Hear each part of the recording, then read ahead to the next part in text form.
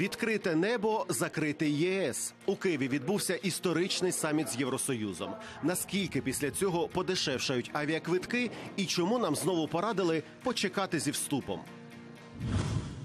Клуб холодних і кмітливих. Чому замість увімкнути тепло в батареях у деяких регіонах оголосили надзвичайну ситуацію? Як це допоможе почати опалювальний сезон і чи виростуть тарифи? Вхід тільки для щеплених у подорож лише з ковід-сертифікатом. Що робити тим, хто не може або не хоче вакцинуватись, і скільки на нових карантинних правилах зароблять чорні перевізники? Остання вечеря депутата. Нові подробиці таємничої смерті Антона Полякова. З ким зустрічався нардеп напередодні трагедії? Навіщо возив із собою катетер? І чи справді помер від передозування метадоном? Шпигун із бутербродом у штатах піймали військового, який продавав таємну інформацію про ядерні реактори. Навіщо він ховав секретні флешки в арахісовому маслі? І як упаковка жуйок допомогла ФБР врятувати субмарину?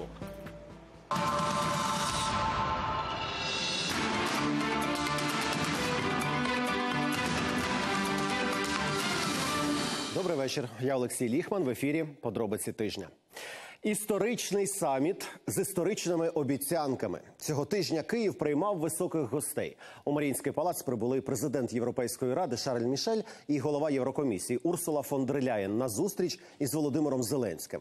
Результат розмови підписана підсумкова заява на 12 пунктів, і деякі з них уже назвали перемогою. Приміром, угоду про відкрите небо. Це означає, що невдовзі авіаквитки для українців стануть в рази дешевшими. Але головного пункту в документі так і не було. Коли ж Україна стане членом ЄС, Яна Танчак у Києві та Олена Абрамович у Брюсселі вирішили проаналізувати, які ми маємо шанси, і скільки вже чули обнадійливих обіцянок від європейських партнерів, і скільки ще почуємо. Вони вперше зустрічаються втрьох: Володимир Зеленський, президент Європейської ради Шарль Мішель і голова Єврокомісії Урсула фон дер Ляєн. Уперше саміт відбувається без червоної доріжки із почесною вартою. Лише переговори та коротка прес-конференція. Утім, 23-ю зустріч Україна ЄС вже назвали історичною. Ми отримали довгоочікувану угоду про відкрите небо, яка відчинить двері в Україну для більшої кількості європейських авіаперевізників. А отже, знизяться ціни на квитки. Нам пообіцяли захмарні інвестиції та підтримку в протистоянні з Росією. Але найголовніше питання так і залишилося без відповіді, коли ж Україну візьмуть в ЄС. Мені здається, що е, на нашому суспільстві, і мені, як частині цього суспільства, і лідеру е, країни, не вистачає е, цього розуміння, що вже зрозуміло, що ми йдемо одним шляхом, але де той фініш у цьому шляху? І чи є він? Ми домовилися, що потрібно мобілізувати дискусії в Європейському Союзі щодо цього, і я хотів би сказати, останні місяці ми бачимо прискорення з вашого боку. Але чи допоможуть ті дискусії? 1997 в Україні відкривається перший Макдональдс. Ми ділимо Чорноморський флот із Росією, знищуємо останні ядерні ракети і проводимо перший саміт Україна ЄС. Уже за три роки Київ відкрито скаже: ми йдемо в Європу, але на власних умовах. В ході розширення Євросоюзу мають враховуватися інтереси нашої держави. 2005-го вперше заговорять про безвіз, а 2008-го навіть про асоціацію з Євросоюзом. Цей саміт стане визначальним у відносинах ЄС і України.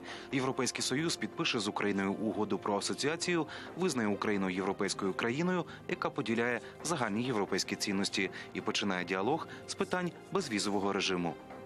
Та переломним у відносинах із Євросоюзом стане 2013-й. Тодішній президент України Віктор Янукович відмовиться підписувати угоду про асоціацію з ЄС. Це спровокує новий майдан і революцію гідності.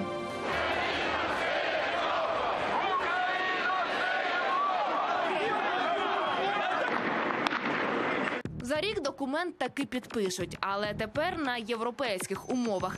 Від нас насамперед вимагатимуть побороти корупцію та реформувати судову систему. І на 23-му саміті закордонні гості Україну хвалять. Хотіла би подякувати і визнати зусилля президента Зеленського за вашу впевненість, за вашу рішучість, з якою ви працюєте на благо України.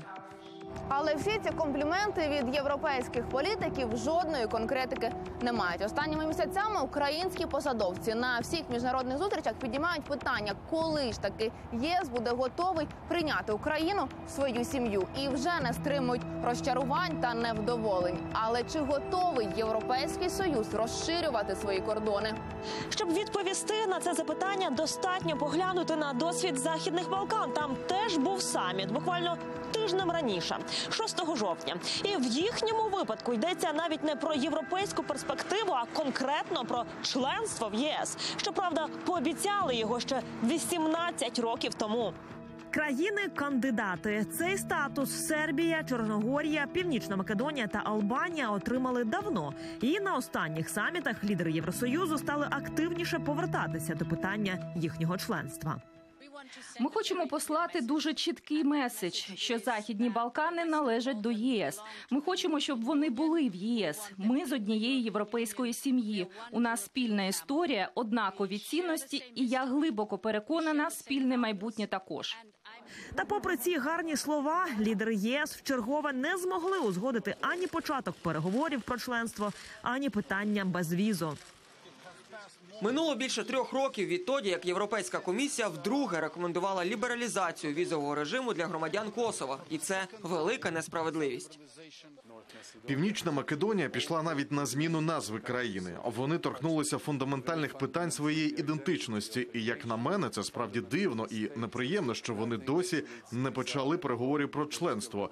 Це мало статися ще у 2019-му. Щоб вступити до ЄС, Македонія на вимогу Греції навіть додала до своєї назви слово північна. Тепер претензії висуває Болгарія. Хоче, аби македонська мова була визнана болгарським діалектом. І дарма, що такі вимоги далекі від критеріїв для членства. Та ця історія гарна ілюстрація того, що може чекати на Україну, якщо не вирішити всі найдрібніші суперечки з сусідами. З Польщею час від часу спалахують дискусії щодо історичної пам'яті на Волині, з Угорщиною щодо прав на освіту для нацменшин на Закарпатті та газових контрактів. Зважаючи на те, як на нас нещодавно напали у питанні енергетичної безпеки нашої країни, я не бачу реального бажання з української сторони налагоджувати з нами стосунки. На примирення з сусідами в Україні час ще є. Бо якщо західні Балкани вже отримали обіцянку членства, то щодо Києва раніше звучали лише розмиті формулювання про європейську перспективу. І, хоча на останньому саміті вони змінилися, суті не поміняли. З'явилась нова термінологія замість європейської перспективи. На цьому саміті заявили про політичну асоціацію та економічну інтеграцію. Це більш конкретно ніж просто європейська перспектива. Йдеться про тісніші стосунки, але в жодному разі не про членство. Чи означає це, що Україну не хочуть бачити в ЄС? Ні, за словами аналітиків і дипломатів, Євросоюз наразі просто не готовий до розширення, і західні Балкани хороший цьому приклад. Адже Франція і Німеччина за бажання могли б натиснути на Болгарію і розблокувати ситуацію. Та цього не сталося. Когда бушует энергетический кризис в Евросоюзе, Франция больше занята тем, как э, решить проблему для своего населения, чем э, заниматься Украиной, э, которая все время хочет денег, которая несет с собой проблемы, связанные с Россией. Тож на Балканському саміті гору взяли дискусії про те, як врятувати блок від стрімкого зростання цін на газ та електроенергію та подолання мігрантської кризи на кордоні з Білоруссю. Аби розширюватися, Євросоюз має спершу вирішити власні проблеми. А Києву, у свою чергу, треба бути у чудовій формі, аби заскочити у цей потяг, якщо колись він таки буде проходити повз. З Брюсселя та Києва Олена Абрамович, Яна Танчак. Подробиці тижня. Телеканал Інтер. А які закони наступного тижня розгляне рада, щоб європейський потяг не лише час від часу завертав на київський вокзал, а й стояв у нас? Ми буквально за хвилину поговоримо зі спікером Русланом Стефанчуком. Він уже в нашій студії. Добрий вечір, пане спікере. Доброго вечора. Дякую, що знайшли час у вихідний день і завітали до нас. Ну а поки що коротко про те, що робитиме парламент уже від завтра.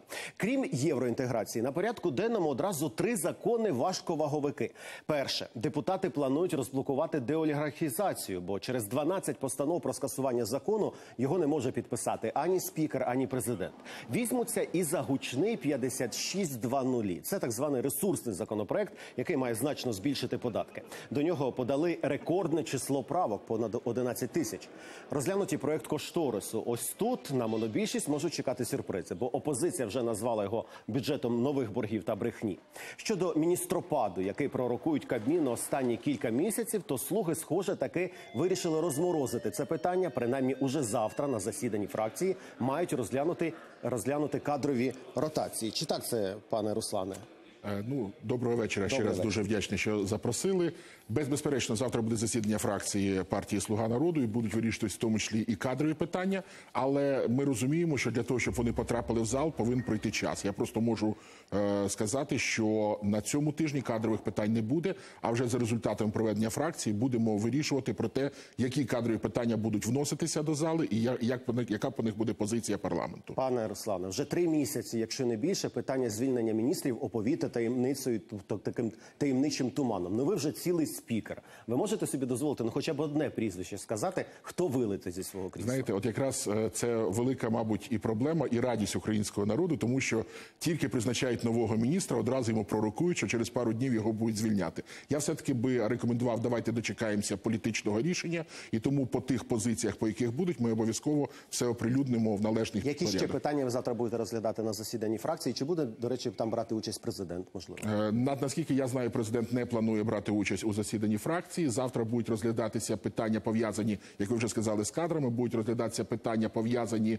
із е, по повісткою на наступний тиждень. Там не тільки три законопроекти ваговики, там набагато більше. Це і питання національного антикорупційного бюро України, приведення у відповідність до е, цих до конституції України. Це і питання, які пов'язані з Національним банком України, три законопроекти, і ціла низка інших законодавчих актів, які можливо менш важливі за, за вагою, але не менш важливі для суспільства. Тому наступний тиждень буде надзвичайно насиченим. Крім цього, я наскільки знаю, на четвер планується ще окрема позачергова позачергове Позачергове засідання засідання. Верховної Ради, яке буде присвячено виключно питанням євроінтеграції, де буде винесено більше десяти законодавчих законопроєктів, які повинні бути розглянуті парламентом і прийняті для того, щоб наблизити Україну до євроінтеграційної них головні так точково. Е, Серед них буде багато екологічних е, за- законопроєктів, пов'язаних там з переробкою, з, з, з, з відходами, з утилізацією. Дуже багато законопроєктів буде. Ну деякі з них будуть проголосовані в першому читанні, деякі будуть вже проголосовані в другому чи- читанні. Але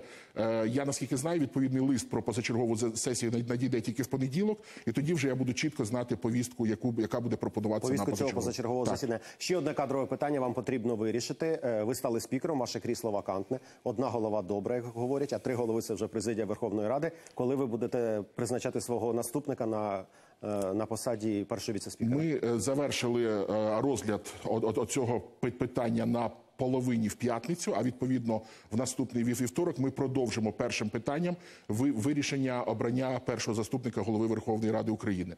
Я думаю, що це десь займе годину півтори, і після цього ми будемо вже ма- мати повноцінну процес. слуга народу. Ним стане той, за кого проголосує Верховна Рада. Ну, подивимось. Бюджетний процес. Ви обіцяли, що цього тижня ви починаєте розгляд е, проекту бюджету на наступний рік. Е, які терміни першого і другого читання ви ставите? Які проблеми? Це один із головних ваших іспитів, до речі, на, на цій новій посаді. Бюджетний процес у нас завжди він оповитий там кулуарщиною, таємницями, договорняками, схемами. Е, приблизно дати орієнтовно. І наскільки може змінитись цей документ? Скільки вже хотіло? Куди? Значить, е, чітко всі терміни передбачені в законодавстві України. Тобто, в- в- в- 18 числа, себто в понеділок, ми маємо отримати рішення комітету. Після цього 20-го ми повинні розглянути його в залі Верховної Ради в першому читанні, направити до кабінету міністрів. Після цього кабінету міністрів надається до 14 днів врахувати ті пропозиції, які будуть висловлені парламентом до першого читання, і до 3 листопада повернути цей документ доопрацьований в раду. І після цього, не пізніше 20 листопада, цей документ має бути проголосований в другому читанні. Я дуже сподіваюся, що все завершиться другим читанням, і не- і ми не підемо в ці Що традиційні ви змінили парламенту. цьому законопроекті? От опозиція, наприклад, говорить, що дуже мало на соціалку, на виплату е, субсидій е, закладено?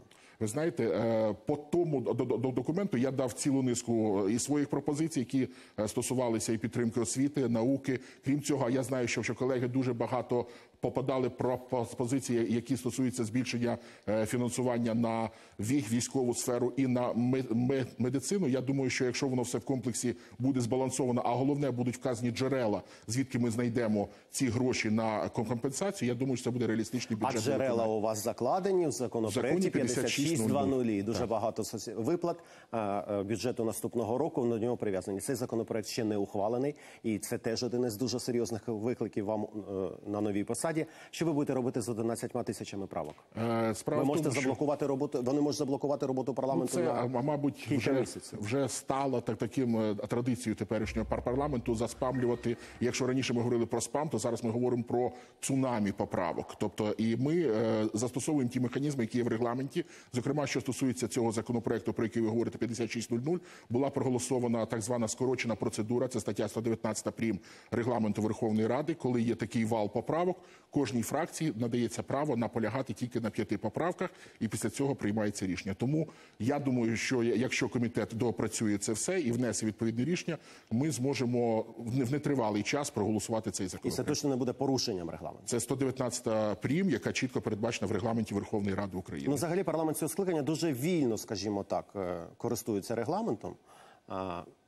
Не хочу казати, що крутить як циган сонцем, але все ж таки часто не дотримується його. Ви його плануєте змінити. Коли це станеться, і як ви його зміните? Ну, дивіться, я б я б одразу хотів розбі- розвіяти міф про такий супердосконалий регламент Верховної Ради України. І Ну, який є, його, ну, він, напевно, він, він, потрібно такий, який є. Так, він та такий, як є, і тому без, безперечно, ми будемо одним з перших питань, а яке от зараз обговорюєте, це питання вдосконалення регламенту Верховної Ради України за процедурою. Функція Верховної Ради алгоритм її виконання. Функція алгоритм, тому що те, що ми маємо сьогодні, ми маємо те, що регламент не відповідає дуже багатьох питаннях Конституції України, тому що Конституція була змінена, а відповідні процедури в регламенті просто не прописані.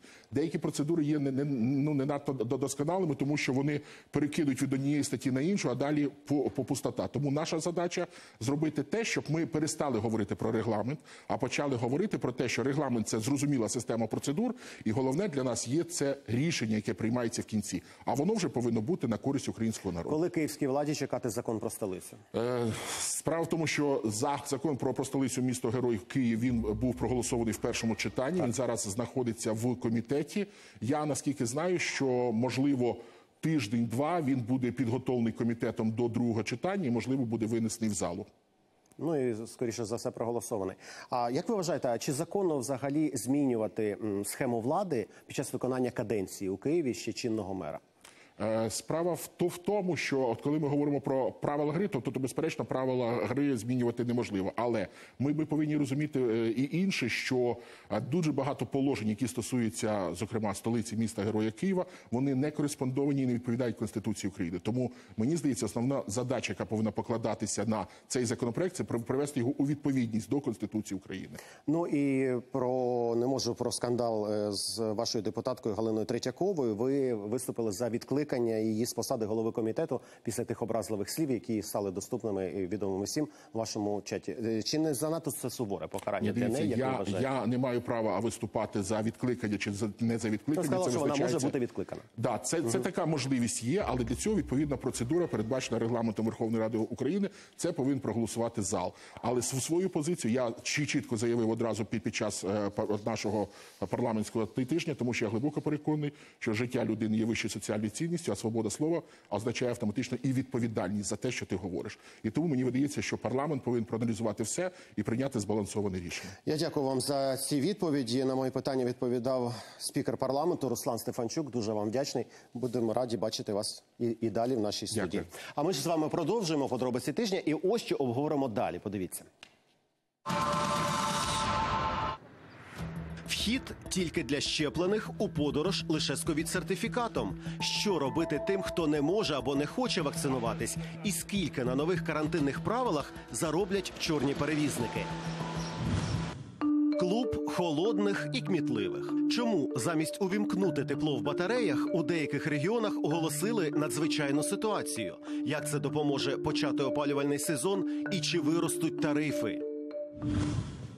Шпигун із бутербродом у штатах піймали військового, який продавав таємну інформацію про ядерні реактори. Навіщо він ховав секретні флешки в арахісовому маслі? І як упаковка жуйок допомогла ФБР врятувати субмарину? Східний базар на закарпатському городі. Як українська пенсіонерка почала вирощувати найекзотичніші фрукти на планеті. Навіщо проміняла сонячну Італію на українські гори? І чому тепер змушена продавати свій унікальний город?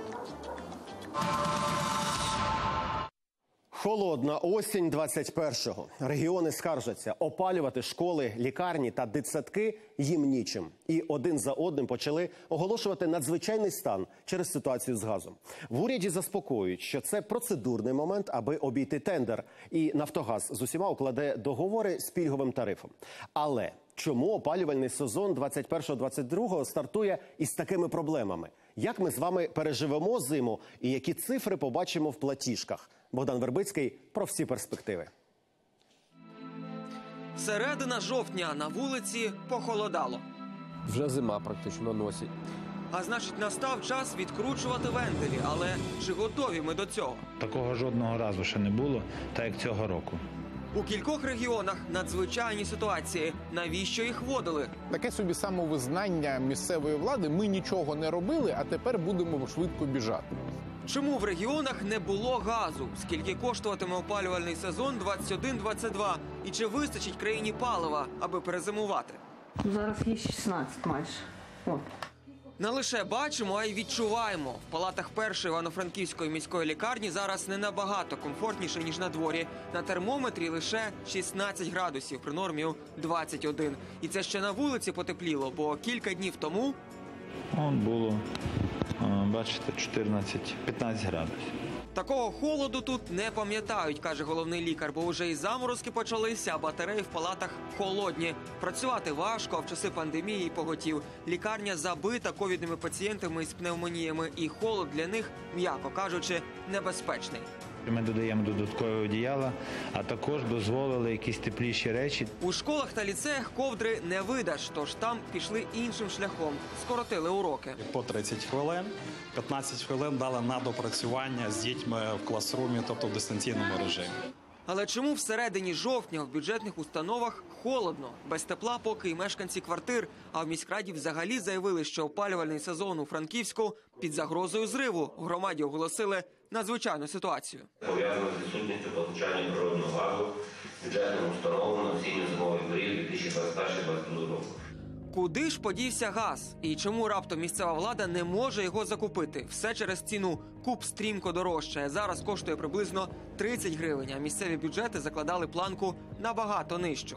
Якщо брати таку ціну, яку нам пропонують, пропонували раніше, то ціна навіть дуже змінна 7 мільйонів 609 тисяч. Тобто це є непідйомні цифри для освітнього бюджету міста Івано-Франківська. Тому ми звертаємося і прошу прописати в рішенні комісії, що це є певна надзвичайна ситуація. Її оголосили одразу в кількох регіонах. Надзвичайними стала Львівська, Хмельницька, Одеська, Миколаївська, Полтавська та Закарпатська області. Директор Ужгородського дитсадка пані Оксана показує нам газову котельню. В її закладі теж тепла поки немає, хоча все готове. Повністю тех- технічне обслуговування йде котла для підготовки. Підготовлюємо всі документи необхідні. Залишилося лише відкрутити венти. Для цього чекають команди згори. Але місцева влада поки мовчить, бо тендери на закупівлю газу не відбулися. Закладує, наприклад, ціну 20, 15, 17 гривень. А на ринку ціна вже е, з вересня місяця була за 20 гривень. 20, 25, 30 і вже в жовтні місяці це 35, 38, а то і 40 гривень. Відповідно, е, такі тендерні пропозиції на, е, на Прозоро не знаходили відгуку у постачальників. Аби продовжити договори, комунальні підприємства мають купити газ на відкритих торгах, але на це потрібен час. Процедура вимагає три місяці на те, щоб підписати договор. І єдиний легальний шлях, як оминути прозоро і тримісячну процедуру, це був оголосити надзвичайний стан і в рамках надзвичайного стану підписати документи. І з Нафтогазом про це йдеться і в підписаному між асоціацією міст та НАКом меморандумі. Документ був своєрідною гарантією стримання тарифів. До кінця опалювального сезону тарифи на тепло, тарифи на гарячу воду для населення не будуть зростати. Я вважаю, що це велика перемога. Я думаю, що люди, люди цього чекали. А скільки вони платитимуть за опалення? І чи справді меморандум захистить від тарифного удару? В різних громадах тарифи різні. І десь вони більш-менш відповідають тому рівню, який є зараз цін на газ. А десь там, умовно кажучи, колись встановили тариф, який передбачав 1500 гривень за тисячу кубометрів, і з того часу не змінювали. Бо меру хочеться бути популярним. А ще суми в платіжках залежать від системи вашого обігріву. Ужгород, приміром, уже давно відмовився від центрального опалення. Ось ці труби, що стирчать зі стін, вихлоп газових котлів квартир. Я собі, коли хочу, тоді включила. Маленька дитина. Ми вже дуже давно включаємо. Спочатку включали на ніч, а тепер цілодобово. Споживачі, які гріються автономно, сплачуватимуть за газ за фіксованою ціною до 8 гривень за куб. Ця цифра у платіжках протримається до травня. Ми включаємо на двойку, ну коли холодно дуже, то на тройку включаємо. Там регулюється. Ні, нічого я такого не можу. Нічого тут у мене такого не встановлено. Батарея з кількох секцій, класична для панельок система із загальним стояком. Киянка пані Оксана показує нам систему опалення у своїй квартирі. Нічого підкрутити вона не може. Лічильника теж немає. У нас це зробити поквартирно ну неможливо. І у нас стоїть просто лічильник один в на весь під'їзд. Спожитий об'єм ділиться на 96 квартир. Рахунки приблизно однакові, бо метраж помешкань плюс-мінус той самий 42 квадрати. І тільки за опалення пані Оксана викладає Лютий місяць 1237,83 копійки. Я за все за всі комунальні послуги заплатила е, 2,5 тисячі. Ну це буде значить 3,5 тисячі, майже 4. Аби полегшити тарифний тягар, жінка економить, а ще готується до опалювального сезону з літа. Гривень по 400 відкладаю. І чесно кажучи, минулого року я себе похвалила за це. Воно це мені дуже допомогло. Чи буде дорожчати гігакалорія для киян? Це поки питання, бо газ головна сировина для теплокомуненерго. Києву, приміром, вдалося закумулювати кошти, аби купити паливо. близько півтора мільярда гривень. Місто буде допомагати тепловикам також п- пережити. Давайте так чесно говорити, цей опалювальний сезон. Тому міською радою було прийнято рішення про погодження виділення е, таких коштів. А загалом, щоб перезимувати, Київтеплоенерго зібрало 3,5 мільярда. Але це столиця найбагатше місто України. А от що робити меншим і біднішим містам? Вони вже, на жаль, раніше почали підвищувати тарифи на тепло ще не в цьому опалювальному сезоні, а ще навіть раніше, 2-3 роки тому назад. Вже в грудні, в січні, в лютому ми все одно побачимо ріст. Він буде десь в районі 2 тисяч гривень, 2,5 тисячі гривень це мінімум. Розум каже, що тарифи на тепло мають відповідати хоча б рівню тарифу пільгового тарифу на газ, який є сьогодні. Ми знаходимося в нашій котельні, яка обігріває 258 квартир. Річне споживання приблизно становить приблизно 200 тисяч кубометрів газу на опалювальний сезон. І він мешканцям цього будинку влетить у копієчку, бо їхня котельня юридично не побутовий споживач, а значить газ і продаватимуть за ринковими цінами. Щоправда, не весь частину палива Нафтогаз постачатиме зі знижкою, але У нас на жовтень ліміт, який Нафтогаз трейдинг нам порахував, це ліміт на три дні. Більше лімітів немає за ціною, да, 7,58. Тож решту треба купувати по ринку, а там газ набагато дорожче. Цього місяця по 25 гривень за куб, вже в листопаді може бути і більше, а значить і вироблення тепла теж дорожче. Рахуємо разом. 150 е, кубів газу множимо на 35 гривень. Ну то я там рахувала вже більше 6 тисяч виходить е, вартість гігакалорії. Для порівняння Київтеплоенерго продає її за 1654 гривні. Поки що в листопаді для цієї котельні ліміти збільшать і докуповувати за ринковими цінами буде потрібно третину. Але і це витрати. Втім, головний виклик цього сезону наявність газу взагалі. У нас насправді в сховищах 19 мільярдів кубів. З них 3,5 мільярди не належать українцям. Того, що є, це так рівно по ніточці, якщо зима добра, пройти зиму. Виходить, що опалювальний сезон 21-22 класичний для українців. Головне, аби тепла зима не підвела. Богдан Вербицький, Жанна Дучак, Мар'яна Мартин, Сергій Килимник, Зиновій Автонас та Оксана Сергієнко. Подробиці тижня телеканал Інтер. Ковідний сертифікат як перепустка у необмежене карантином життя. Хочете повечеряти в ресторані в червоній зоні або піти в спортзал чи поїхати до родичів у інше місто? Всюди буде потрібен він зелений паспорт. З п'ятниці Херсонщина у червоній зоні. Від завтра почервоніють ще чотири області. А з 21 жовтня, незалежно від кольору регіону, в поїздах та автобусах невакцинованим буде не місце. Чи стане це стимулом для імунізації, чи для розквіту липових сертифікатів? Та як іще влада підштовхуватиме українців до вакцинації, де, окрім транспорту, чекати обмежень невакцинованим, та чи не загрожує нам іще один загальнонаціональний локдаун? Про все це просто зараз говоримо із Михайлом Радуцьким, головою парламентського комітету з питань здоров'я нації. На зв'язку з подробицями тижня. Е, Я вітаю вас. е, е, Дякую, що приєдналися, пане Михайло. Скажіть, будь ласка, от останнім часом влада буквально підштовхує населення до вакцинації. Це можна зрозуміти. Днями буде обмежено невакцинованим поїздки країною. Що далі? Чи буде цей тиск посилюватися? Якщо так, то як? І коли чекати на обмеження для осіб без паспортів вакцинації? Давайте, ну е, по-перше, доброго дня, всім не хворіти. А по-друге, давайте почнемо з того. Е, Це не влада спонукає і не влада щось обмежує. Це, по-перше, сьогодні у всьому світі так. По-друге, це захист населення від шкідливого впливу е, вірусної інфекції.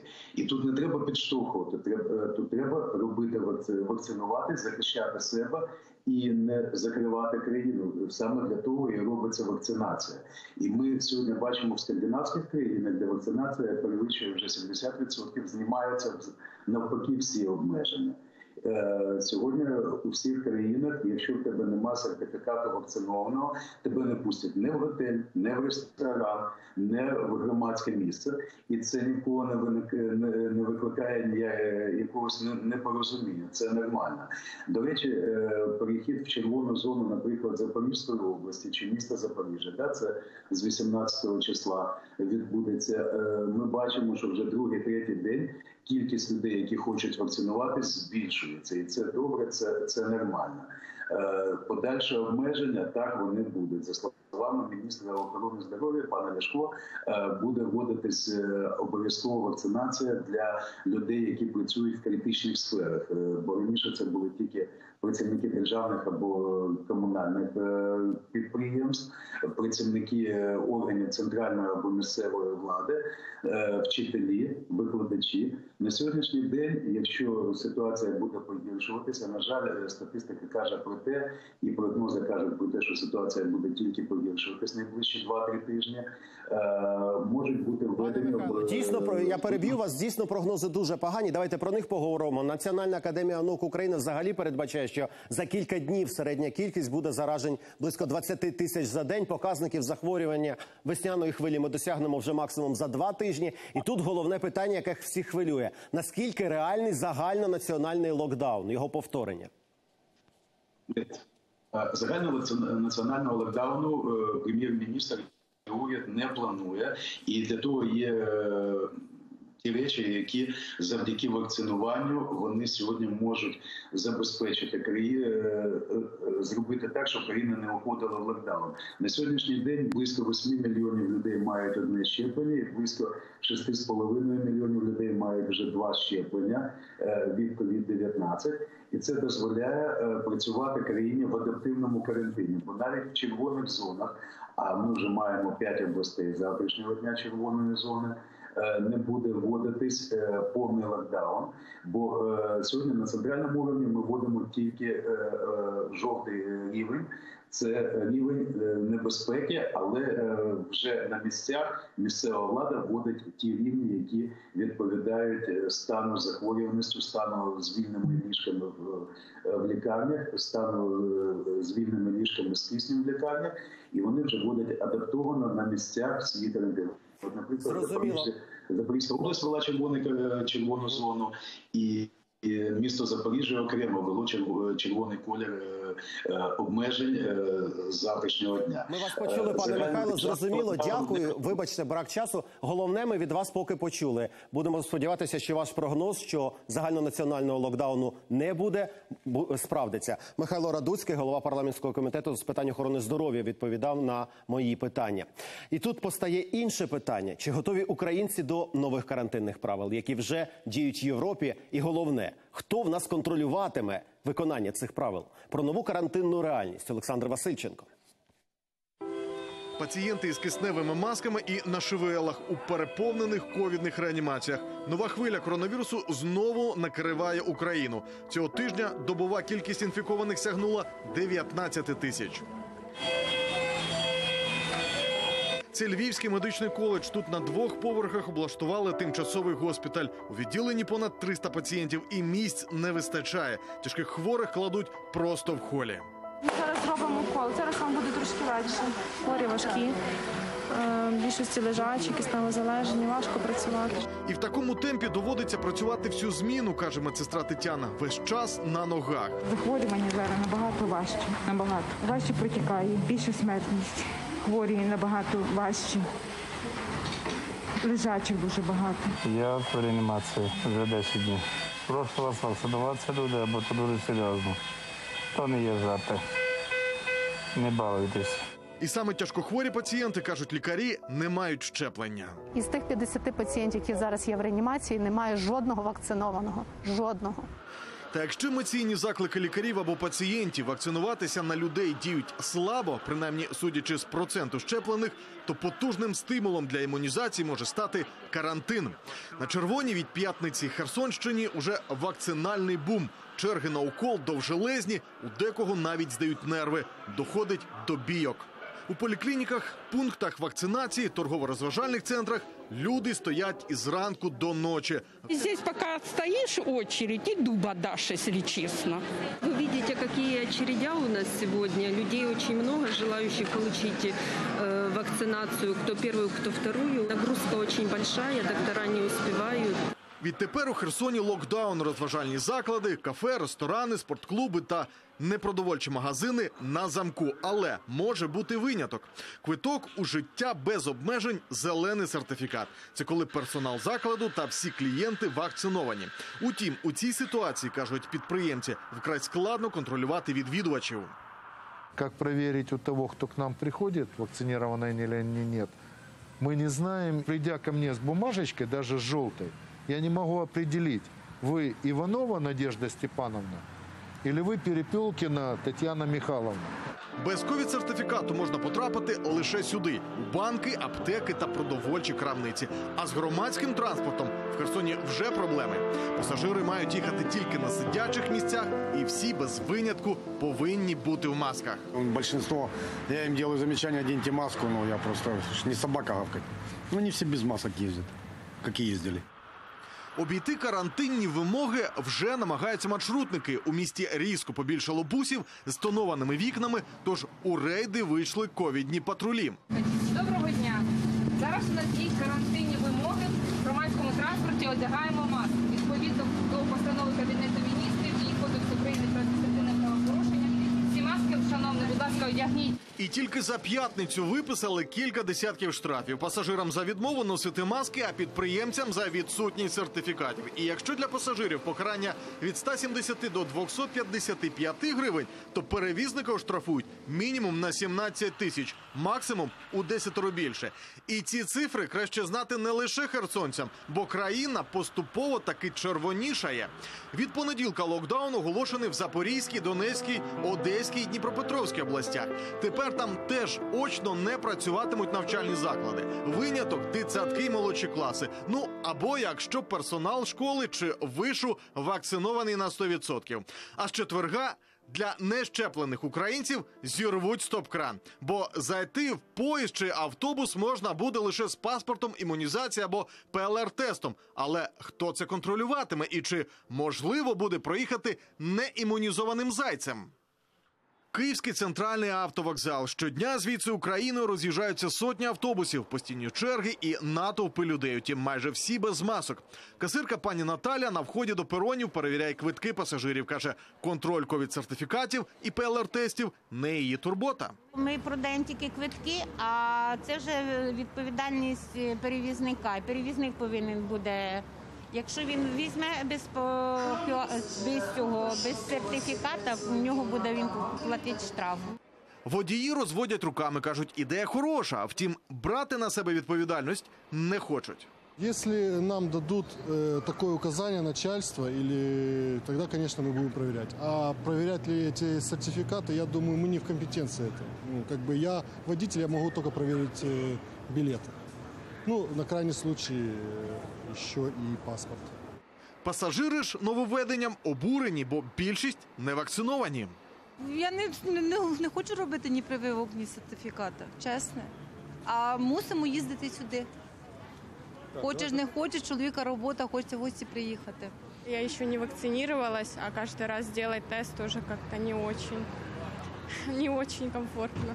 Некомфортно і дорого, бо на відміну від вакцинації, ПЛР-тест задоволення платне. Аналогічна ситуація і на ЖД вокзалі. Заповнений пасажирами потяг Київ-Рахів. За правилами всі в масках. Як подорожуватимуть із 21 жовтня, залізничники не знають. А як діяти? А люди у вас от питають щось? Ну, А що люди? А людям що? Вакцинуватися треба. Нам ще бумажним ніхто нічого не доводить. Тобто приказу ніякого немає. Сказали, що так, Кабмін прийняв з 21 числа будуть так пускати. А як там буде воно? Ніхто про це не знає. Квиток, паспорт, маска і валіза. Раніше з таким набором можна було вільно подорожувати Україною. Зараз головний атрибут поїздок це ковід-сертифікат. Не зробивши щеплення або ПЛР-тесту, не те, щоб поїхати. До вагону зайти не вийде. Можливо, тут пощастить. Деякі маршрутки навіть під час жорсткого локдауну нелегально перевозили людей. Тут і за квиток на руки платити треба, і контролю менше. Добрий день. Є вільні місця? Маршрутка Київ Рівне заповнена вщерть. Більшість без масок. Вакцинованих ще менше. А можете підняти руки, хто зробив щеплення? От є такі? Я теж зро- я зробила. От. Три людини. Але сертифіката на руках немає. Немає. До сімейного попасти неможливо. А їздити ж треба. Тож чи не стануть маршрутки таким собі прихистком для тих, хто хоче обійти правила? А якщо немає ПЛР-теста і щеплення? Ну не знаю. Ну якось домовитись можна буде? Я не знаю. Ну ще ж 21 число буде, що там буде конкретно, то є, ну, поки так. Ну можна. Толком не скажу. Ні, я не знаю. Ні, ну як. Про відповідальність і відповідальних заговорили на вищому рівні. Визначили, якщо пасажир не вакцинований, альтернатива ПЛР-тест. Він має бути зроблений не пізніше ніж за три доби до поїздки. До речі, підійде і експрес-варіант. Далі питання контролю. Провідник не пускатиме пасажира без документів у вагон. Але знімати порушника з поїзда чи штрафувати це вже прерогатива правоохоронців. Те, що е, зараз пропонується, воно е, жодним чином не має зупинити залізничний рух загалом. Навпаки, ми хочемо відпрацювати цю хвилю обмежень таким чином, що залізничне сполучення стане по суті територією безпеки. Утім, якщо з потягами все зрозуміло, то як контролюватимуть, приміром, маршрутки? У поліції кажуть, контроль за ними, а от відповідальність на перевізниках. Все, поїхали. Олександр Васильченко, Марина Михайловська, Анна Камінєва, Сергій Килимник. Подробиці тижня, телеканал Інтер. Детективи політичні та шпигунські. Далі у подробицях тижня. Після реклами говоримо про надзагадкову смерть народного депутата Полякова та дивимося спецрепортаж зі США. Дмитро Ановченко розкаже, як упаковка жуйок допомогла ФБР врятувати субмарину. Дочекайтесь. Армія з гарним обличчям. Скільки жінок служать у сучасному українському війську? Як вони ламають стереотипи і щодня доводять, що можуть воювати на рівні з чоловіками, і чому саме жінки вважаються найкращими снайперами? Остання вечеря депутата. Нові подробиці таємничої смерті Антона Полякова. З ким зустрічався нардеп напередодні трагедії? Навіщо возив із собою катетер? І чи справді помер від передозування метадоном? Шпигун із бутербродом у штатах піймали військового, який продавав таємну інформацію про ядерні реактори. Навіщо він ховав секретні флешки в арахісовому маслі? І як упаковка жуйок допомогла ФБР врятувати субмарину? Східний базар на закарпатському городі. Як українська пенсіонерка почала вирощувати найекзотичніші фрукти на планеті. Навіщо проміняла сонячну Італію на українські гори? І чому тепер змушена продавати свій унікальний город?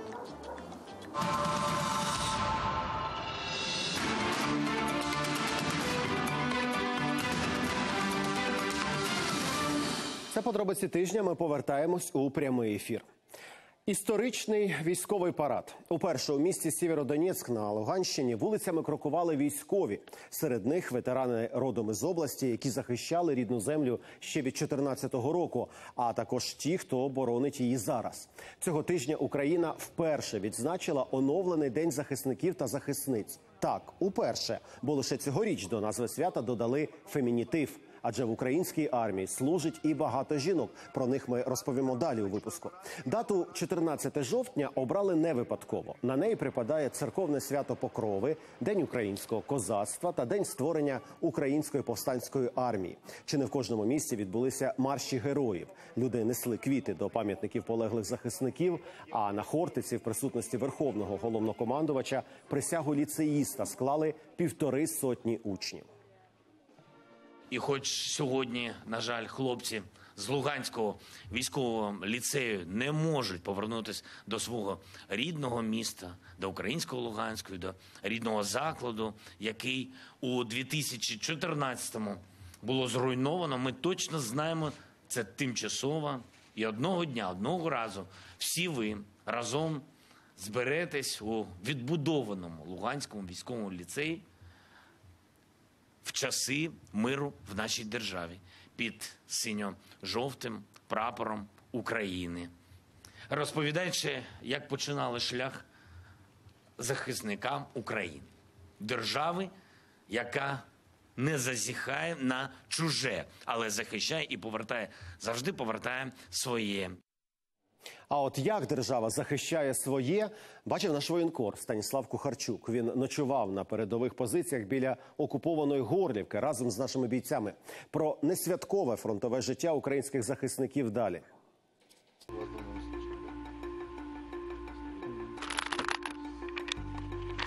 Район шахты 6-7, там у них глаза, ихние уши.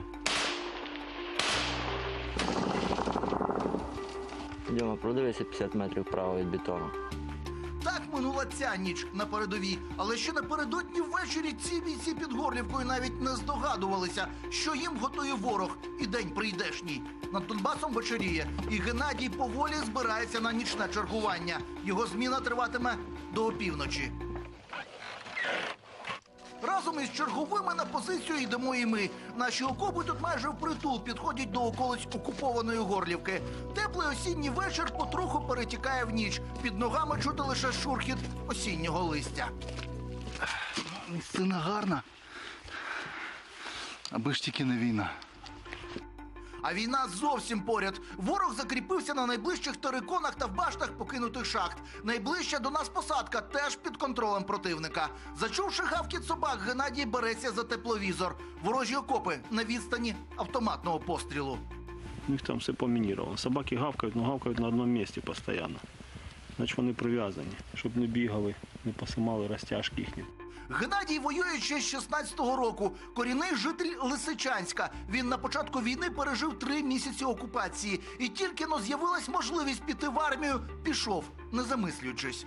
Тут, на підступах до Горлівки, він захищає не тільки Україну, а ще й свій дім та сім'ю.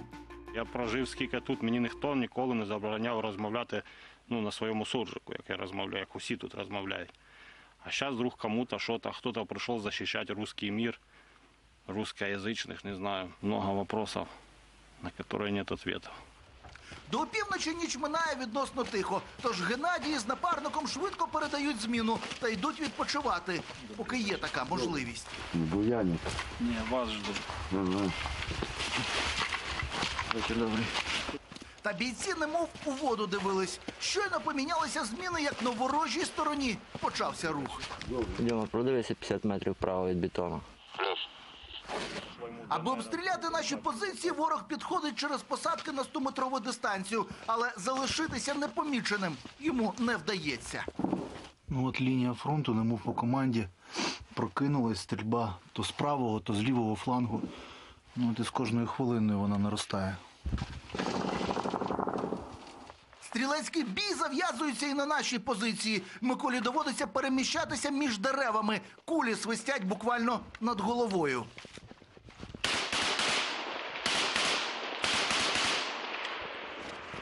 Швидка перезарядка і знову в бій. Стрілянина триває майже годину. Нашим воякам вдається придушити вогневі точки на тій стороні, і противник потроху затихає. Микола каже, таке тут щоночі. Іноді ворог нахабніє і вдається до провокацій навіть у день.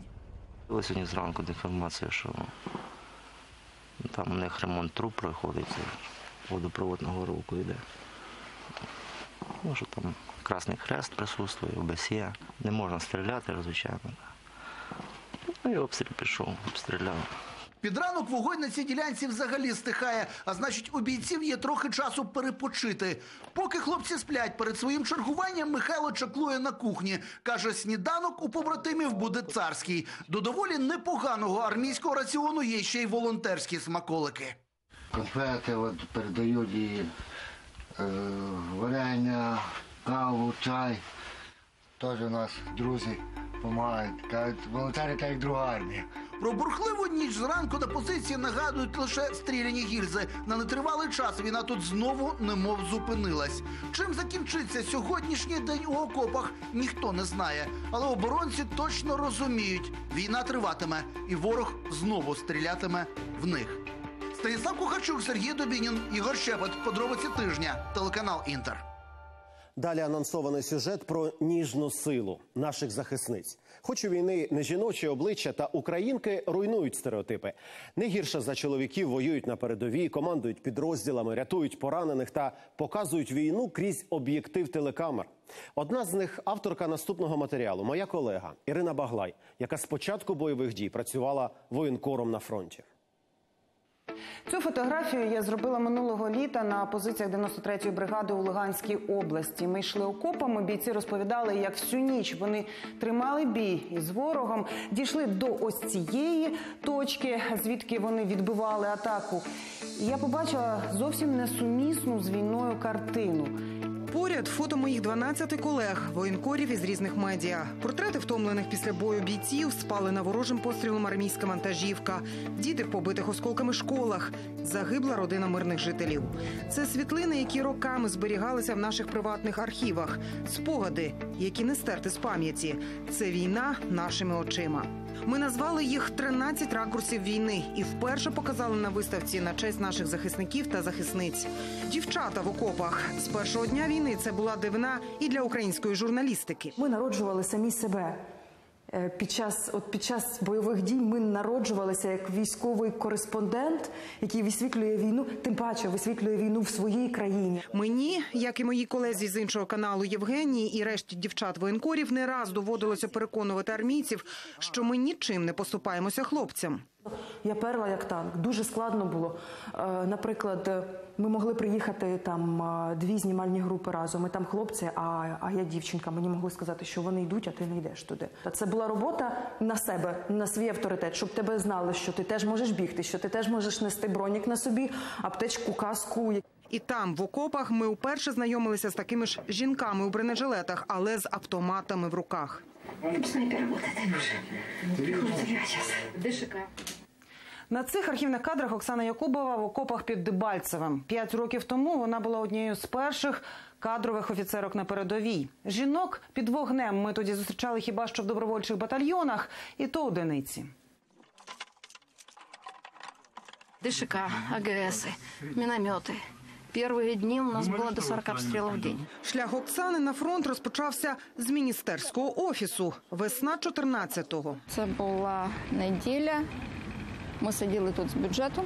Головний спеціаліст Мінфіну в своєму кабінеті в центрі столиці рахувала держбюджет. Раптом дзвінок із військомату. До Кабміну Оксана Петрівна встигла відслужити 10 років в армії, тож у 14-му попала під мобілізацію.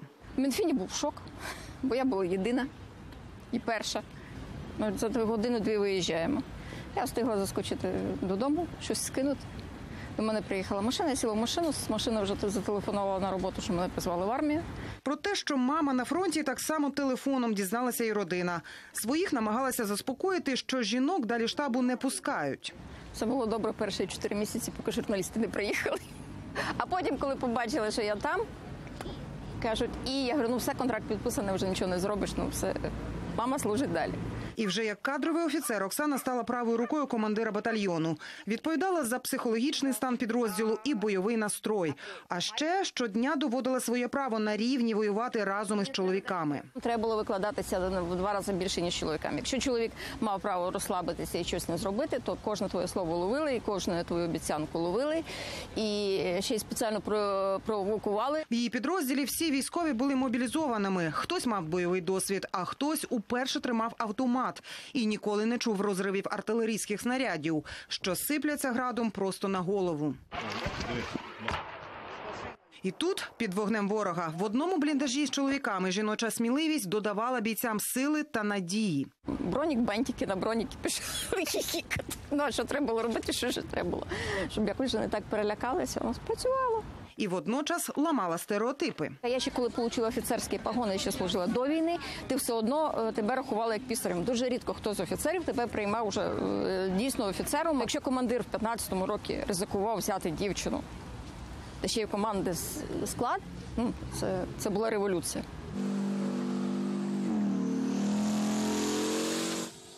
Проте вже за рік жінки військові довели, що гідно можуть боронити рідну землю і на танку, і зі снайперською гвинтівкою,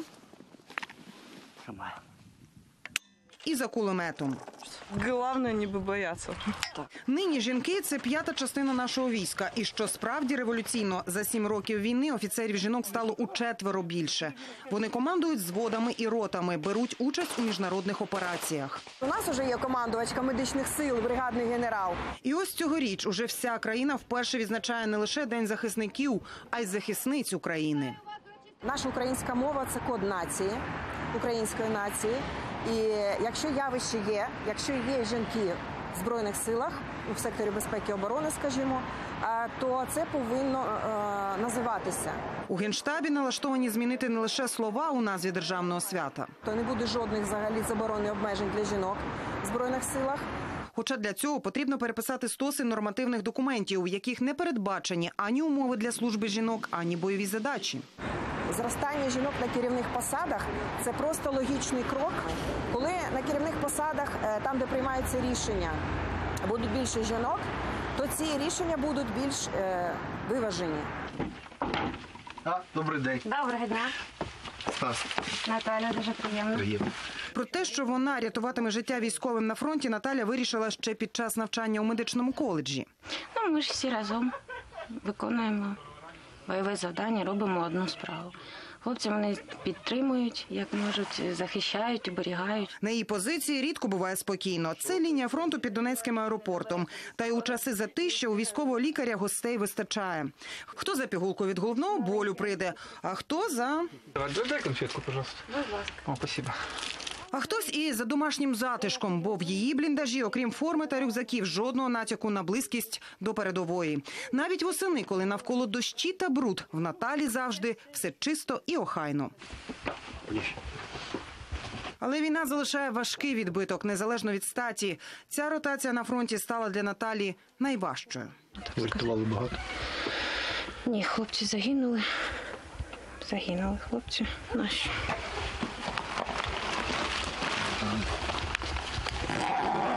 Тема для мене, якщо чесно. Вбиває мене з колії. Ще не можу ніяк. У дівчат у всіх є таке, е, що от що ти повернувся, а вони ніж, ти не захистив. Я всіх пам'ятаю. Всіх пам'ятаю 14-го. От, От вони якраз переламали. Переламали все. Це, це є, це не проходить. Попри жахіття війни та біль втрат, їм все ж дається зберегти материнську турботу.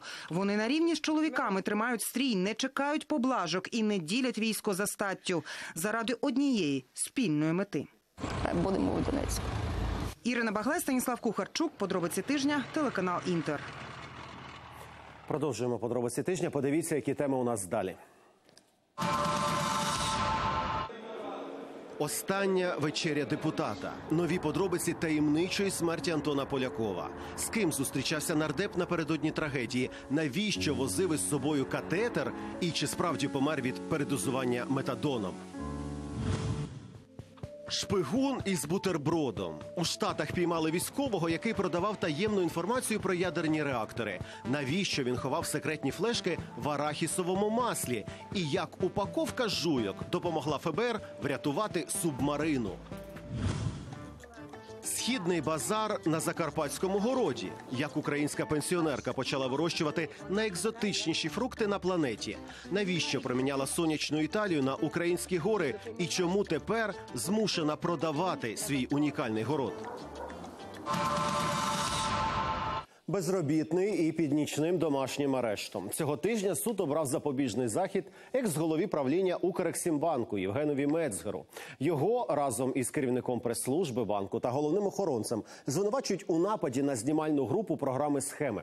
Прокуратура вимагала для банкіра цілодобовий домашній арешт, але суддя замінив його на нічний. Такий самий запобіжний захід одержав і речник фінустанови Володимир Пікалов. А от охоронець, який силою забирав техніку і крутив руки журналістам, Ігор Тельбізов, отримав особисте зобов'язання.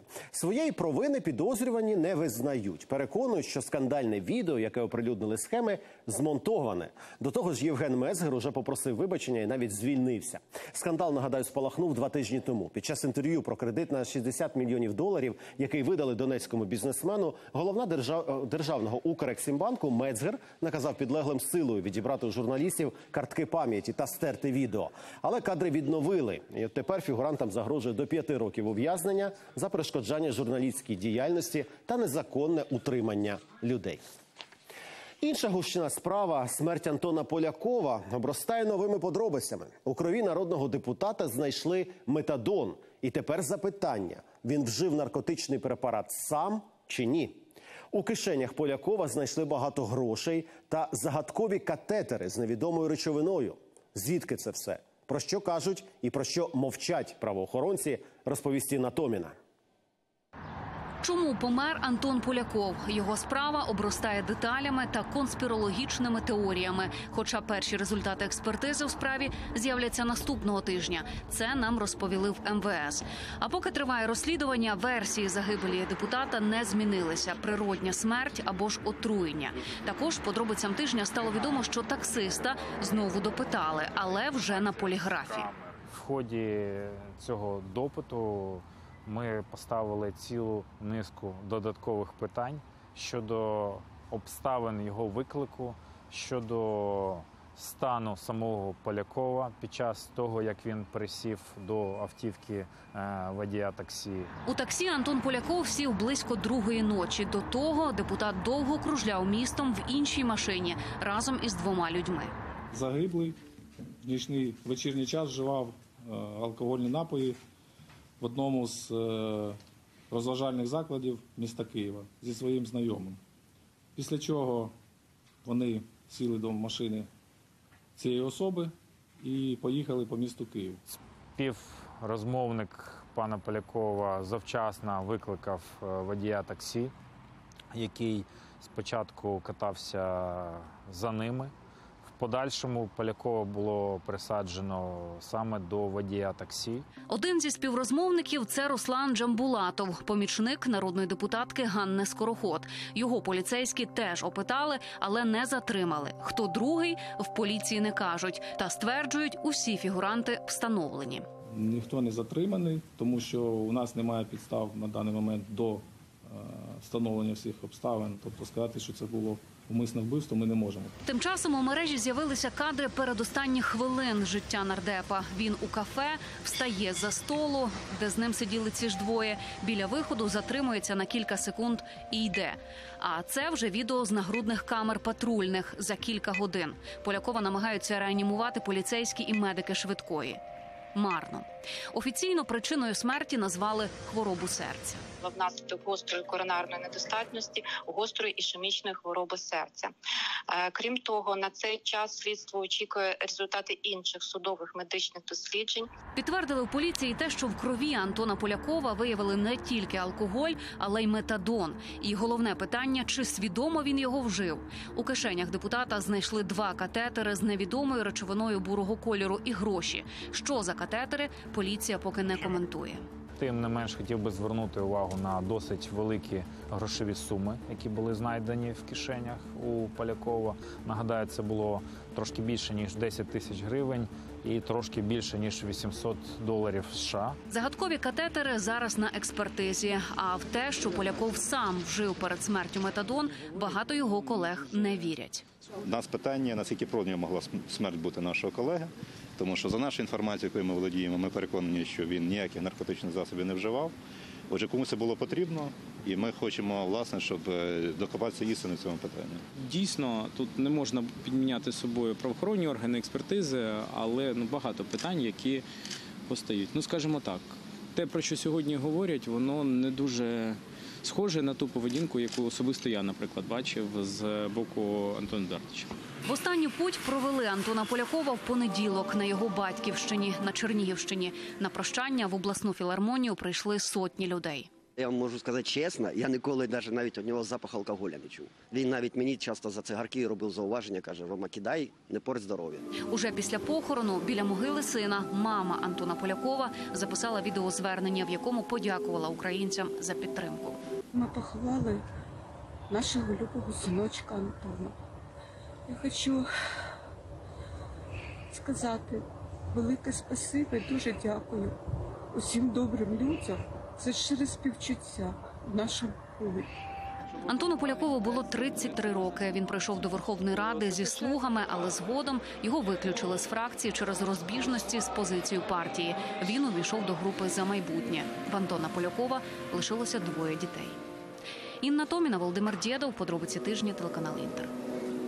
Із луком та стрілами житель невеликого норвезького містечка цього тижня вийшов на полювання. Полювати він вирішив на людей. Загиблих п'ятеро, а самого стрільця поки що помістили в психіатричну лікарню. Чому останнім часом в різних країнах почастішали масові напади вбивць одинаків? І який зв'язок між цим лучником та іншим норвезьким злочинцем Брейвіком? Та чи правда, що в останнього з'явився шанс на помилування? Наша Тетяна Логунова все розкаже. Море свічок та квітів, маленьке містечко Конгсберг, що на півдні Норвегії, сумує за своїми загиблими. Для нас дуже важливо бути тут, щоб показати рідним загиблих, що ми разом із ними. Я не знала особисто людей, яких вбили, але водночас я відчуваю, що ми були знайомі. У нас дуже маленьке містечко. Ми повинні підтримувати одне одного. У жаху, в якому нині живе Конгсберг, є ім'я та обличчя. Еспен Андерсен Братен, 37 років, громадянин Данії, який мешкав у Конгсберзі. В середу ввечері він узяв лук та стріли і пішов у центр міста полювати на людей. Цілив навмання. За 10 хвилин убив п'ятьох перехожих, чотирьох жінок та чоловіка. Ще двох важко поранив. Я бачив чоловіка, в якого зі спини стирчала стріла. Так, прямо зі спини. Це наш поліцейський, який того вечора був не на службі. Його поранили біля магазина. Я була недалеко і чула попереджувальні постріли поліції, яка намагалася зупинити чоловіка зі стрілами. Його самого я не бачила. Тут був хаос. Усі люди кудись бігли. Стрільця заарештували живим і неушкодженим. Спочатку поліція кваліфікувала його дії як теракт. Утім, після допиту лучника основна версія змінилася. Er styrka Виглядає так, що найімовірніше його дії були спричинені психічним розладом. З огляду на стан здоров'я затриманий перебуває у закритому психіатричному закладі. Він зізнався у скоєному, але не визнає себе винним. Конгсберзький лучник був відомий поліції і раніше. Його притягали до відповідальності за крадіжку, торгівлю наркотиками та погрози власним батькам. Кілька років тому чоловік прийняв іслам і, на думку правоохоронців, був схильний до радикалізації. Сусіди ж згадують, він був тихим і злим. Yeah, he's, he's a uh, quite big person. Кремезний чоловік з коротким волоссям і стурбованим.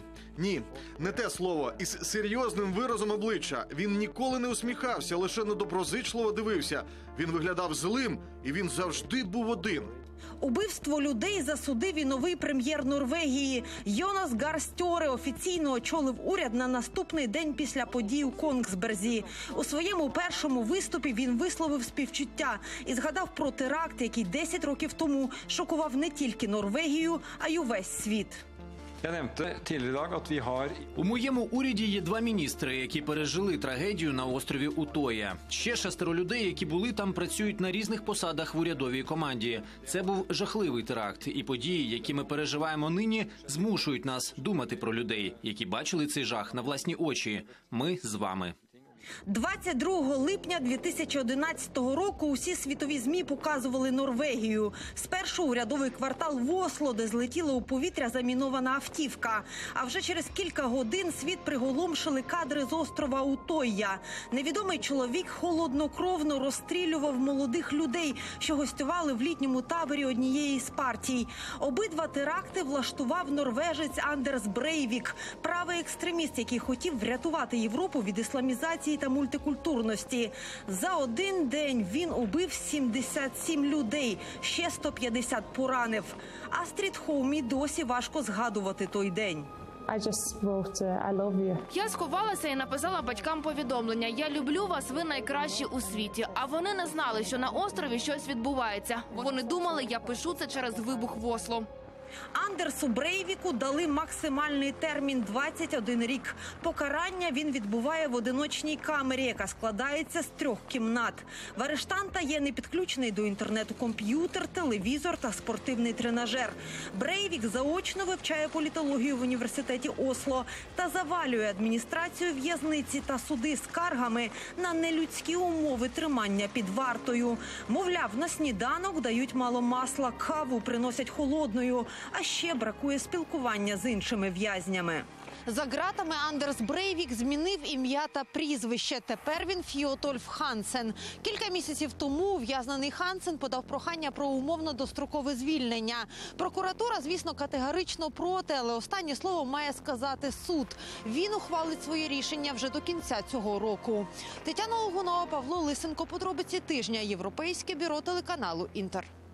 Шпигунські ігри гучна і водночас кумедна історія сталася у Штатах. ФБР затримало подружжя, яке намагалося торгувати державними таємницями. Секрети були цілком реальні.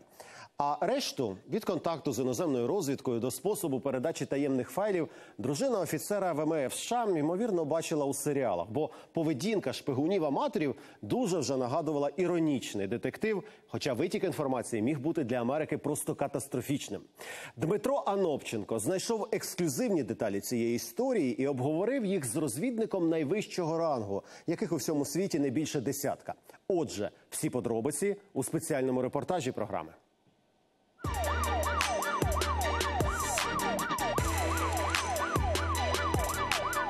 Для ФБР ця операція була найбільшим пріоритетом. Ще б пак, коли Вашингтон і Париж нещодавно посварилися, ще й так серйозно, що французи свого посла зі штатів відкликали. Це було через проект будівництва найсучасніших підводних човнів. Субмарини невидимки за технологією стелс. Кожна 3 мільярди доларів коштує. Одна з найбільших військових таємниць Америки, але купити її, як виявилося, можна було не задорого. Все почалося, коли американські спецслужби перехопили пакет, адресований одному з іноземних посольств у Вашингтоні. Коли його розкрили, очам не повірили. Там були копії службових документів військово-морського флоту США і лист, зроблений за допомогою Google-перекладача. Ось його текст. Вибачте за поганий переклад вашою мовою. Будь ласка, переправте цього листа вашій військовій розвідці. Думаю, ця інформація має велику цінність для вашої нації. Це не розіграш. У конверті була інструкція, як зв'язатися з відправником, адреса електронної пошти на анонімному сервері. А документи, коли їх перевірили, стосувалися якраз суперзасекреченого проекту американських субмарин. І відправник обіцяв продати креслення. Імейл у відповідь надіслали ось цієї будівлі, штаб-квартири ФБР у Вашингтоні. Тут визначили кілька найкращих спецагентів, або вони видавали себе за іноземних дипломатів і вийшли на контакт з продавцем. Так почалася операція, яка тривала понад рік. Цю історію ми розбираємо разом із легендарним Олегом Калугіним, в минулому розвідником та генералом КДБ, чоловіком, який за часів холодної війни сам вербував американців. Після розвалу союзу консультував ФБР і особисто знає, з багатьма навіть товаришував керівників західних спецслужб. Приймав вдома директора ФБР. А ось цю книгу йому подарувала шеф британської розвідки леді Ремінгтон, підписавши колишньому ворогу, а зараз другу. Калугін каже, для ФБР це величезна вдача, що вони взагалі перехопили перше ж послання. В Америке контроль м, выборочный. Э, В некотором смысле в России это тотальный контроль за всеми иностранцами, которые, ну, по крайней мере, в те времена. Тобто спецслужбі пощастило, що на продавця першими вийшли вони, а не росіяни чи китайці. Агенти ФБР почали переписку, представляючись іноземною розвідкою, що він хоче за військові таємниці. Для початку 100 тисяч доларів у криптовалюті сказав це небагато, бо секрети, до яких я маю доступ, коштують мільярди. Наш експерт каже, для спецслужб вимога людини дати великі гроші всі одразу перша ж ознака, що діють аматори. Мы давали так деньги, чтобы люди себя не смогли э, как бы перед общественностью американской показать, что они вдруг стали богатыми. Это очень важно для разведки, потому что когда человек начинает хвастаться и разбрасываться деньгами, то, естественно, это вызывает у полиции и тем более органов безопасности особый интерес. ФБР тим часом задіяло профайлерів, аби зрозуміти, хто зрадник.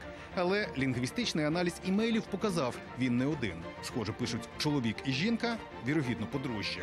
Але перед тим як передати першу партію секретних документів, подружжя попросило доказів. І, мабуть, багато шпигунських фільмів дивилися. Сказали: ми приїдемо потай у Вашингтон, коли в місті буде багато туристів. Ну а ви на будинку вашого посольства або квітку у вікні виставте, або на огорожі щось закріпіть. І для нас це буде знак І ФБР змогло це організувати. А коли щоб підтвердити серйозність намірів, федеральне бюро розслідувань таки перерахувало аванс 10 тисяч доларів. Продавець погодився на обмін, але не писав жодних контактів. Карту пам'яті з інформацією він залишить у сховку в лісі.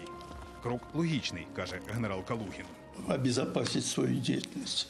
Потому что, когда встречается, то либо один, либо второй может быть объектом наблюдения со стороны местных органов контрразведки. И тогда, в общем, конец придет. Згодом продавець надіслав координати, і тут слідча група ФБР не змогла втриматися від реготу. Бо з'ясувалося, що карту пам'яті із файлами загадковий контакт поклав у бутерброд з арахісовим маслом. Та ще й відкусив від нього дорогою до схованки. Мабуть, зголоднів, дружина погано годувала. Так отримали зразки його ДНК. Був ще один платіж вже на 20 тисяч доларів, і друга закладка в лісі, флешка в обгорці від жувальної гумки. Спецслужби знайшли фігурантів цієї справи в Анаполісі, місті, де розташована найпрестижніша академія ВМФ США. За їхнім будинком довго стежили, прослуховували розмови, шукали, чи немає інших спільників, але їх було лише двоє. Джонатан Тонбі, 42 роки, військово-морський офіцер з найвищим доступом до державної таємниці, брав участь у розробці атомних двигунів для американських підводних човнів, і його дружина Діана, вчителька місцевої школи. Ось її аккаунт у соцмережі. Наче привітна 45-річна жінка на фото звичайні родинні турботи. Але сусіди кажуть, це міф. Діана насправді людина жорстка, і в цій родині вона була головною. І завжди казала чоловіку, що і як робити. Все це так соромно. Соромно, бо, як з'ясували у ФБР, саме Діана схилила чоловіка до зради і стояла на стрьомі, коли він ховав свої закладки в лісі. Обох заарештували, коли Тонбі чекали решту грошей і вже обговорювали, як їх витратять, і які ще секрети можуть продати. Е, Що цікаво, вони зовсім не були бідними. Е, Ну, згоден, не мільйонери, але жили так, як і повинна жити середня американська родина військового і вчительки. Ну, ось цей будинок. Я спеціально ріелторів перепитав. Е, Коли приїхали, купили за 430 тисяч доларів. Тобто гроші в родині були. Ну а зараз він вже більше 600 коштує. Нерухомість дорожчає. Або машини. Ну ось подивіться, в родині їх дві. Ну так, не Тесла, так, не Мерседес, але і не металобрухт якийсь. Вони могли мирно постарішати тут, дочекатися онуків, але тепер вірогідно все життя проведуть за ґратами, бо вирок за таке у штатах довічне ув'язнення. Коли він сам займався врабуванням у США, теж вистачало таких агентів, якими рухали не ідеали, а банально гроші, зізнається генерал Калугін. І відтоді каже, нічогісінько не змінилося. Потому что у людей есть э, самолюбие, честолюбие. Если человек считает себя обиженным, даже при том, что, может быть, никто и не имел в виду его обидеть, но так получилось, то эта обида может э, обернуться вот, ну, предательством по отношению к той организации, в которой он работает. Так что вот этот человеческий фактор, он неизменен. Да? Он был всегда и существует независимо от э, существования каких-то идеологических или там противостоящих друг другу систем. Із Вашингтона Дмитро Анопченко, Андрій Раман, американське бюро телеканалу Інтер. Ви дивитесь подробиці тижня, і далі у нас надзвичайно цікаві матеріали про хутряне королівство в Карпатах та Закарпатську Чорногорію. Унікальні та загадкові місця України дивимося одразу після реклами.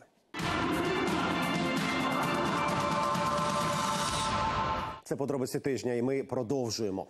Екзотичний сад зі східними фруктами, що ростуть на давньому вулкані, і рідке золото, яке носила вся австро-угорська армія. Подробиці тижня продовжують цикл матеріалів про унікальні місця нашої країни. Сьогодні нова серія з хутряної столиці України. Саме так неофіційно називають Тисменицю на Прикарпатті. Кілька століть тому вірмени перетворили невелике карпатське село на хутряне королівство, а австрійці на головного кутюр'є для армії. Голландці з німцями буквально засипали місцевих доларами. Натомість, із приходом китайців. Тисмениця почала занепадати про багате минуле української столиці хутра та шкіри і небезпечну ціну, яку сьогодні змушені платити жителі, розкаже наша Жанна Дучак. Ще кілька століть тому це невеличке українське місто знали у всьому світі. Ми грузили від Камчатки до Карпат свою продукцію. Вона йшла, йшла е, на забезпечення цілої Австро-Угорщини. Тисменицю називали хутряною столицею Австро-Угорської імперії, яка одягала всю цісарську армію, а згодом і одним із головних центрів, де вироблялось хутро в радянському союзі. Навіть сьогодні його продають мало не на кожному кроці у місті, а майстри умільці буквально в кожній хаті. Я просто шкіру дуже люблю. То я вважаю, що шкіри можна зробити, якщо не все, то майже все. Але за таку популярність місцевим щодня доводиться розплачуватись власним здоров'ям і не злим тихим словом згадувати Китай. Але як невеличке містечко на Прикарпатті стало всесвітньо відомим, і чому нині колишня столиця хутра перетворилась на контрабандну периферію? Добрий день, Ми- так? Добрий день. Ми в Тисмениці, в Кушнірській Тисмениці. Біля в'їзду в місто зустрічаємося з Богданом Степановичем. Він в Тисмениці місцева знаменитість. Більше 50 років пропрацював на хутрофабриці. Перше хутро взяв до рук ще у 17. Спершу обробляв сиру шкіру, згодом доріс до директора фабрики. Каже, на початку 60-х на хутрофірмі працювало практично все місто. Шили кролячі шапки та кожухи із овечої шкіри. Продукція розліталася по всьому радянському союзу. До 10 мільйонів у рік шкіру кролика заготовлялося. І в таких в СССР було 33 хутрових підприємства. І наша Тисмениця була перша в трійці. Будівля позаду мене і є знаменита Тиснецька хутряна фабрика. Перші її корпуси почали зводити ще в 1891 році. На той час це було єдине в Україні таке підприємство. Воно забезпечило продукцію всю Австро-Угорську імперію. Це була досить потужна фабрика, яка була найновішою на території е, Австро-Угорщини в той час, яка була з обладнанням спеціальним. Кожухи ці використовували як для армії, так і для е, залізної дороги, для, для поліції. Та перші хутра тут пошили ще 500 років тому. Тоді в місті була вірменська колонія, чиї робітники вважалися справжніми королями Європи із виробництва сап'яну, фарбованої м'якої тонкої шкіри.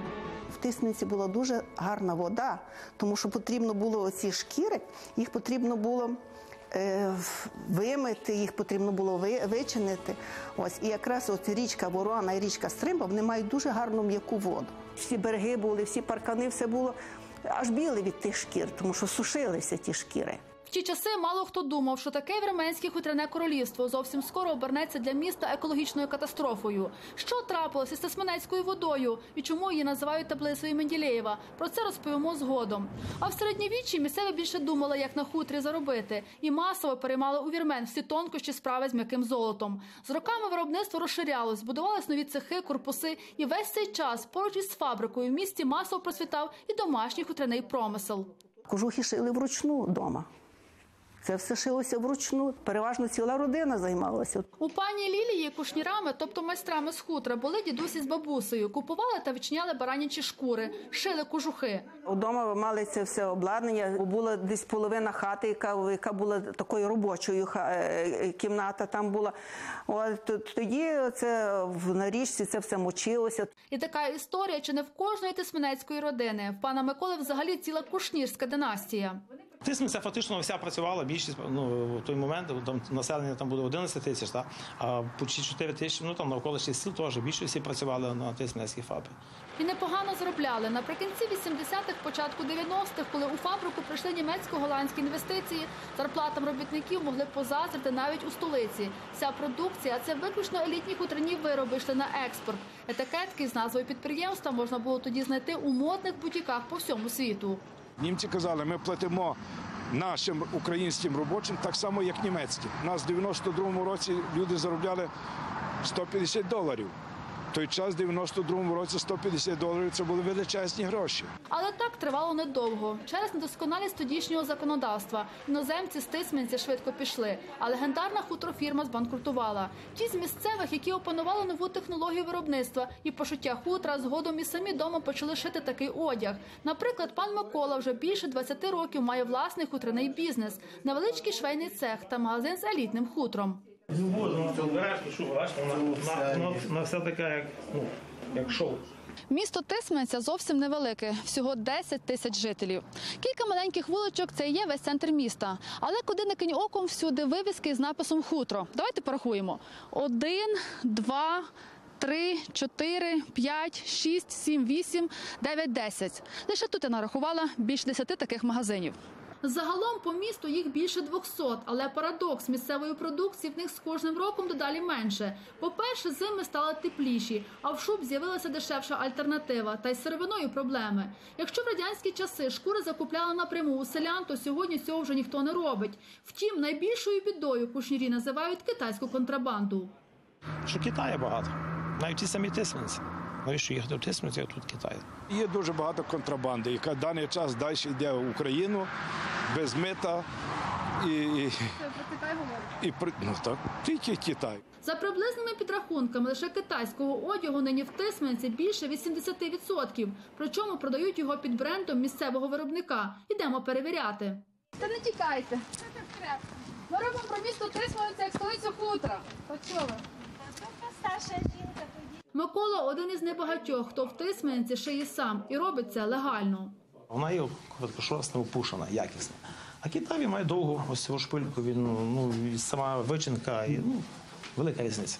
Тому китайський одяг набагато дешевший. Різниця доходить до десятки тисяч гривень. Та кушнірство це не лише дорогі хутра і шалені заробітки. Вже багато років хутряна столиця на порозі екологічної катастрофи. Землі небезпечні хімікати. Адже під час обробки сирої шкіри використовуються різні спеціальні розчини. Вони можуть десятиліттями зберігатися в землі і викликати рак. І замість утилізації все це роками скидалося у місцеві річки. Вся таблица Менделеева в тех химикатах. И свинец. Все, все, все, все. Тяжелый, ме- тяжкий металл. Сьогодні в Тисменці немає питної води. Водогін проклали аж за 15 кілометрів з Івано-Франківська. А ще нині в місті чи не найвищий в області показник захворюваності на рак та дуже велика смертність населення. Жорстока ціна, яку містяни платять за минулу хутряну славу. Жанна Дучак, Зноя Автонас. Подробиці тижня.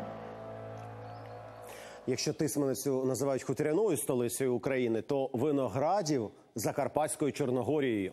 Місто розкинулось біля підніжжя згаслого вулкану, але він досі гріє землю. Тут так тепло, що люди вирощують виноград майже до нового року. А їхні сади з хурмою, інжиром, персиками, ківі та фісташками можуть дати фору навіть екзотичним східним базарам. Наша Мар'яна Мартин вирушила на одну з найсмачніших зйомок. Та щойно дісталась виноградова. Її в багажнику вивезли в гори. Що трапилось? Подивіться.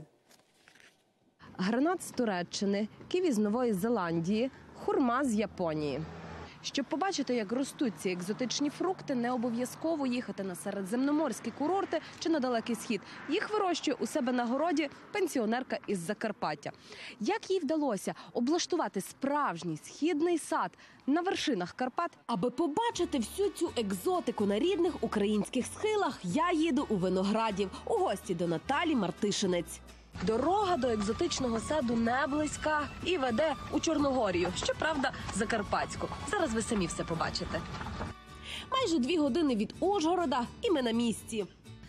Ось ми і під'їхали до Чорної гори. Її місцеві називають Карпатською Чорногорією. І саме тут живе власниця східного саду. Чорна гора місце унікальне, бо це вулканічний останець, і магма тут і досі гріє землю. Господарка чекає нас біля підніжжя гори. За нами спустилася на своїй старенькій ниві. Я вмостилася, можемо їхати. Я зайняла своє віп-місце у багажнику. Щеплення, газ, їдемо. У свої 74 пані Наталя, як досвідчений гонщик, легко справляється з бездоріжжям. Та й за кермом, каже жінка, все своє життя. Я проїздила мільйони кілометрів. Кілька хвилин, і ми на місці. З вами не страшно і в багажнику. Біля гаража зустрічає борка. Киця власник машини. Вона тут живе в машині. І ще з десяток інших котів, а ще собаки Вася, циган, Петька, Джес. Цих тварин жінка врятувала від людської жорстокості. Бурки, буркусь, пой сюди. Пой сюди, буркучі, пой, пой, пой, пой, напой, напой, напой, цігань, напойте, молодці ви у мене. Пані Наталія має дві вищі освіти. Вона історик та перекладачка, справжня поліглотка. la polyglotte, c'est le français. Leja vizita Italia, dawno mu nie la czeski. Мадярський. За плечима колосальний досвід роботи в різних сферах. Працювала і медсестрою, і дояркою, перекладачкою та гувернанткою у мільйонера. Життя добряче поводило її по світу. Франція, Чехія, Угорщина, Грузія, Італія. В Італії зараз живуть її рідні. Наталя й сама думала там залишитися, але життя склалося по-іншому. Це технічний сорт, називається мускатотонель. Так, і цей попробувати.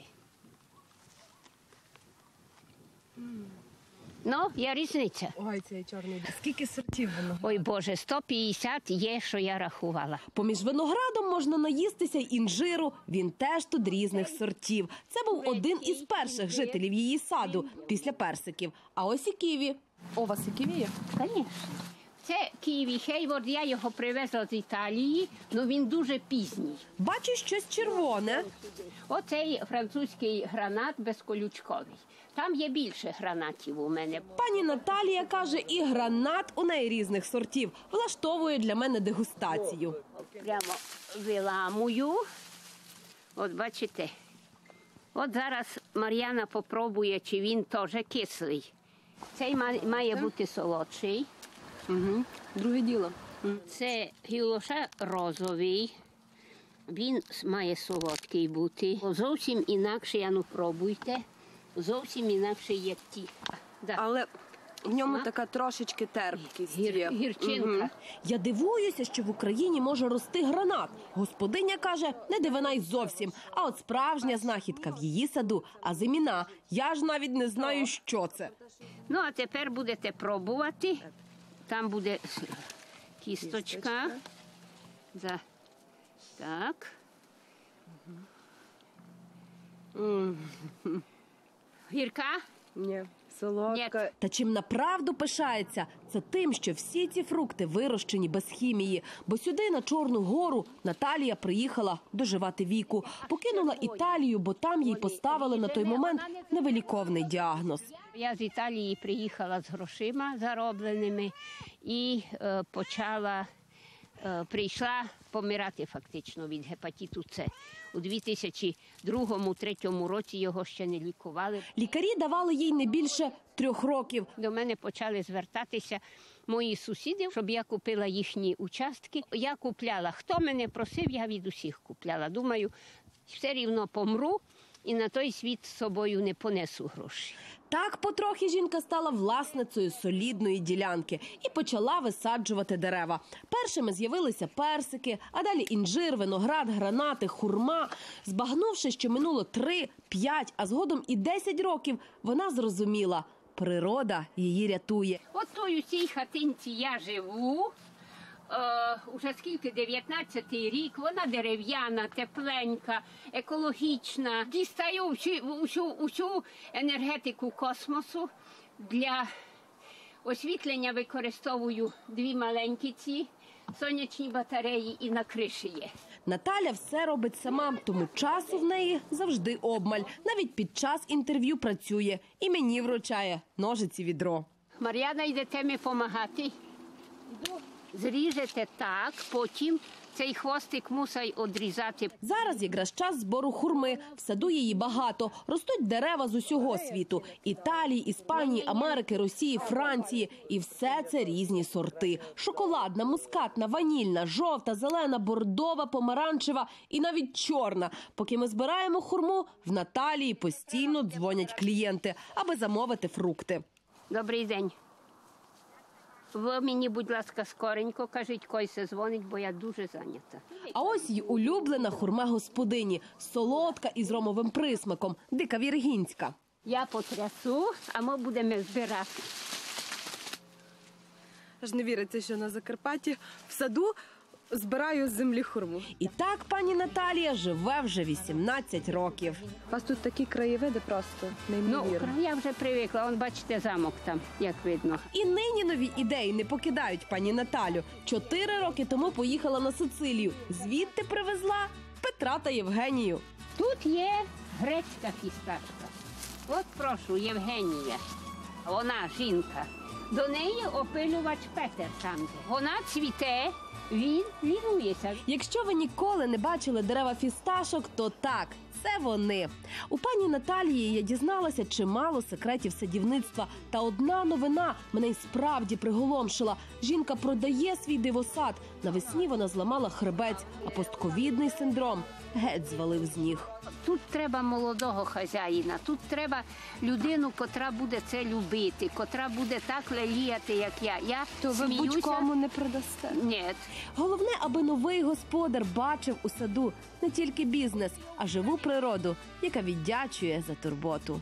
Я кожне дерево підійшла, погладила, подякувала йому.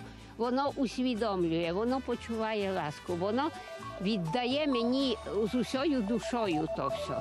Із закарпатського саду повного життя Мар'яна Мартин, Юрій Ковальов. Подробиці тижня, телеканал Інтер. На цьому все. Дуже дякую, що дивились подробиці тижня і прощаюсь до наступної неділі.